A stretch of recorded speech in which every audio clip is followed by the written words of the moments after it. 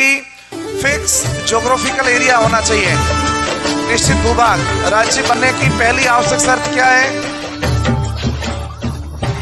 दूसरा, इस पर निवास करने वाली कौन होनी चाहिए? जनसंख्या।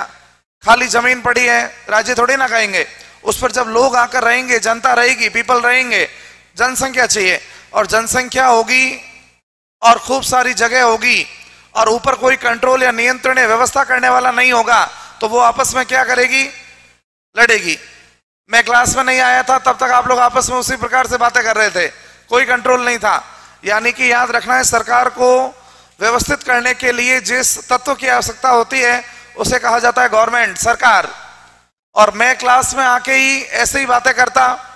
मेरे यहाँ पे स्टेज पे चढ़ के पाँव हिलने लगते, मेरी ज़ुबान लड़खड़ाने लगती। तो क्या आप लोग जिस शांति से अभी बैठे हो, उस समय ऐसा बैठते? आपस में बातें करते रहते आप लोग।